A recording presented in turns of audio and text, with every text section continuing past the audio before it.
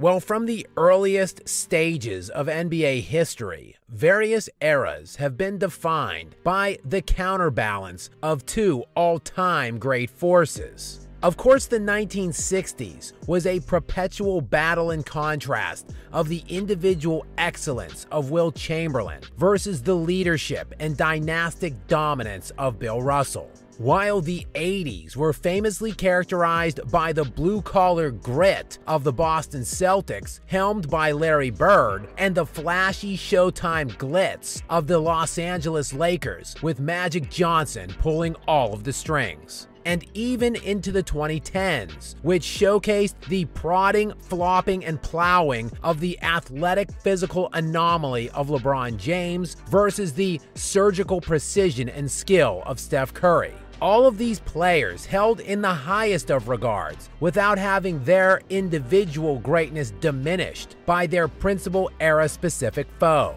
But for some reason, arguably the best tandem of opposing players throughout any era of basketball history are routinely both slandered in hindsight. Of course, I am talking about Kobe Bryant and Tim Duncan, two of not merely the best overall players of all time, but in the handful of guys in the discussion of best full court two way players ever. The two of them, separated by only one year in the draft, with both retiring in the same season, Duncan with 19 years of service in one jersey and Kobe with 20. Two players who actually never cheated the game, did it the right way, and dominated their era, with both of these players combining to produce an astonishing 13 finals appearances in a 16 year span, running from 1999 to 2014, while winning 10 NBA titles, five for each of them.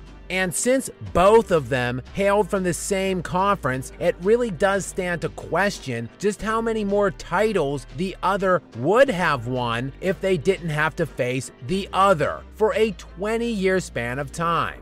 And again, that is while doing it on both ends of the court for the vast majority of their entire careers. These two are tied with 15 total All NBA team selections, second all time in NBA history, behind only LeBron James, while Kobe's 11 first team selections is one more than Duncan's 10. Duncan, meanwhile, has 15 All NBA defensive team selections as well, which is the most ever. Kobe's 12 is second all time with again Bryant having one more first team selection on the defensive end with 9 to Duncan's 8. There is no doubt that both of these players have produced resumes that should land each of them in top 5 all time discussions. But the question does remain who was better? Who goes above whom in this little hierarchical ranking and why?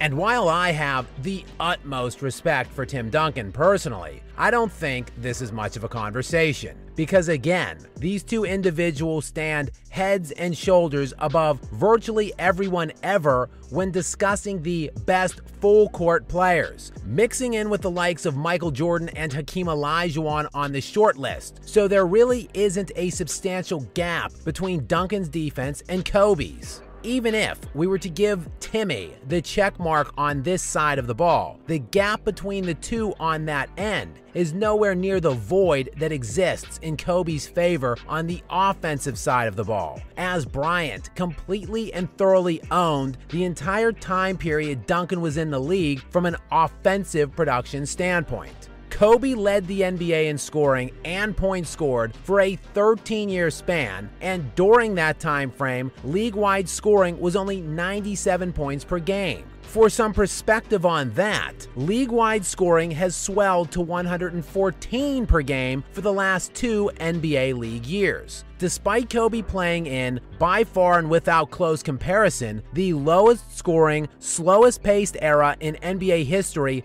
by a lot. He is still top three all time in league history in most 40, 50, and 60 point games. And for some perspective on that, Bryant still has nearly 50 more 40 point games currently than LeBron James, while Kobe's 25 50 point career games are more than LeBron James and Kevin Durant combined.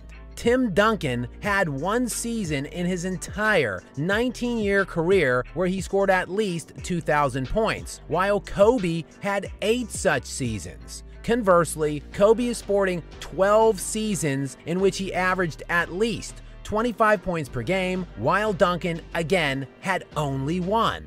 When I say from an offensive standpoint this isn't close, I mean it is a vast chasm of a difference. But the great equalizer is, of course, team success and Duncan had more consistent team success than Bryant in the regular season, famously posting 14 50 win campaigns, which is second most in NBA history behind only Kareem Abdul Jabbar's 16. And Duncan's regular season career win loss record also dwarfs Kobe, as Timmy's career 71.9% win percentage is 12th best in NBA history, which is substantially higher than Kobe's 62% career win percentage. But all of this regular season success did not translate to substantially more success than Kobe experienced in the playoffs, as they both won five titles and Bryant actually made it to one more finals appearance than Duncan. And speaking of the playoffs, well, Kobe also had the better of Duncan head to head in the only part of the season that really mattered the postseason where Kobe holds an 18 12 head to head record against Duncan overall, while in those 30 games, Bryant produced a stat line of 28 points, 6 rebounds, and 5 assists, compared to Duncan's per game averages of 24 points, 13 rebounds, and 4 assists translating to a 4 2 series head to head record in favor of Bryant. And this is despite, by and large, the Spurs having better teams. And yes, while Kobe played with Shaq for 8 of his 20 NBA seasons and would constitute a better single player than Duncan ever had, Bryant actually had relatively middling to poor roster support surrounding him for the remaining 12 seasons he was in the NBA. And quite frankly, the early 2000s teams were pretty thin outside of Shaq and Kobe. This is while Duncan had arguably the best organization behind him for the entirety of his 19 seasons. After all, Duncan was drafted onto a team that had David Robinson, and no, Robinson was not at the level Shaq was when Bryant was acquired by the Lakers on draft night in 96. But there is a pervasive narrative out there that paints Robinson as significantly more diminished than he actually was at the time when Duncan was drafted in 97. During Tim Duncan's rookie season of 1997 98, David Robinson was still just in his age 32 season. That year, Robinson was All NBA second team and All NBA second team defense, while he finished seventh in season end MVP voting and third in Defensive Player of the Year voting.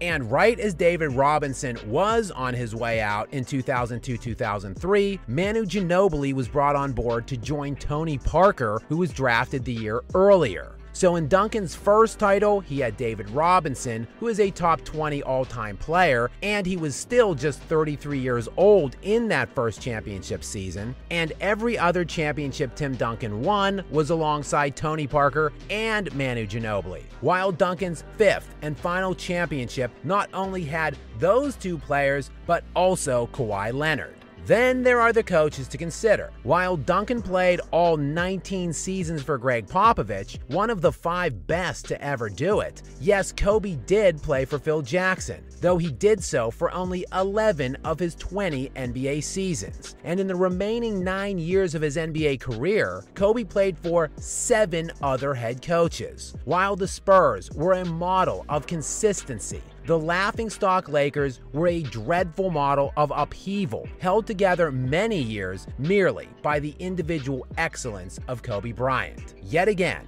all of that equated to these two winning the exact same number of titles, and Kobe beating Duncan four times out of their six playoff meetings. That was while Kobe three-peated and then later repeated in his career. Of course, Tim Duncan never won consecutive titles a single time in his entire NBA stint. There is no denying Tim Duncan has a prominent spot on the pantheon of all time greats, a surefire top 10 and very arguably top 5 player of all time. But yet again, the criminally underrated Kobe Bryant comes up check marks over Tim Duncan in virtually any way you decide to slice it. The two of them, elite, all time caliber defenders for their respective positions. Yet Kobe Bryant is arguably the greatest offensive force in NBA history, if not a surefire top three guy alongside Wilt Chamberlain and Michael Jordan.